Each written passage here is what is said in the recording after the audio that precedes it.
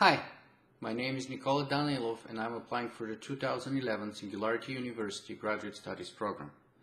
I really appreciate your time and consideration, but I thought I'd make things easier for you by quickly giving you my top 10 reasons why I should not get accepted to Singularity University. So once again, the following are my top 10 reasons why I should not get accepted to Singularity University. Reason number 10 I'm not a scientist. People who know me say that I am good at pattern recognition, strategic analysis, and negotiation. But chances are I'm not going to reinvent the wheel, and I'm not going to be awarded the Nobel Prize in Theoretical Physics. Number 9. Money. I can't pay for Singularity University, so why shouldn't you get someone with equal or better qualifications who can actually afford to pay for it? Number 8. Accent. As you can see, English is not my first language. I was born and grew up in Bulgaria, but now I live in Canada. The problem with my accent is that sometimes my jokes don't work.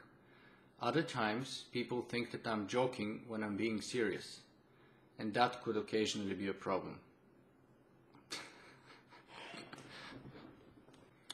Number 7. I'm hard to fit. I don't always fit. By nature I'm a contrarian a Socrates, a gadfly, sometimes even a troublemaker.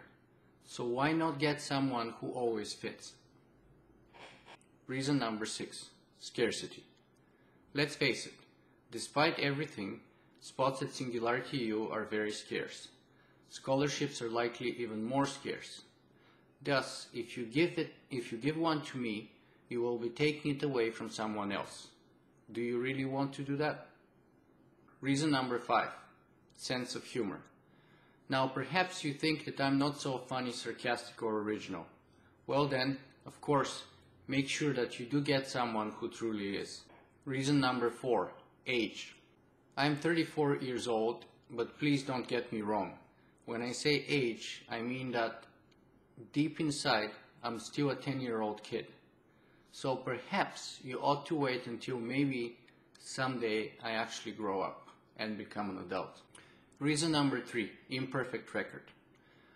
I have great academic, professional, and other accomplishments in a spectrum of diverse disciplines. But if you look closely, you will find out that I don't have a perfect record. One of my philosophy professors at the University of Toronto noted that I have a very strong response towards good teaching. The thing is that it goes both ways. That is to say that I have equally strong negative response to poor teaching. So accepting me would involve taking substantial risk. Why not accept someone who is a sure bet instead? Someone with perfect record. Reason number two, leadership. I'm often conflicted between being a born individualist and a natural leader. On the one hand, as Mark Twain puts it, I feel uncomfortable and begin to reflect whenever I find myself on the side of the majority. On the other hand, I have a record of being a successful leader for small motivated teams such as a platoon or a small business team. Being a leader for larger groups of people though is still something I need to work on. Reason number one, passion. It's been said that most people live their lives in quiet desperation. I believe that the reason is that most people hate what they do.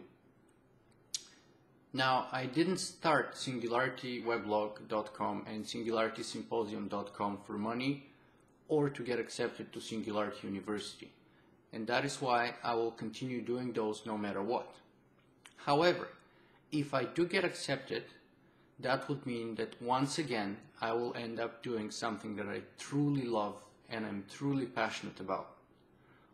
So why shouldn't I finally grow up and learn to do things that I hate instead? So those were my top 10 reasons not to be accepted. Of course, if you decide to disagree, and argue that none of the above ought to prevent me from coming to Singularity University, since I've already given you my best shot of convincing you otherwise, I will have no other choice but to oblige. Thank you for your time.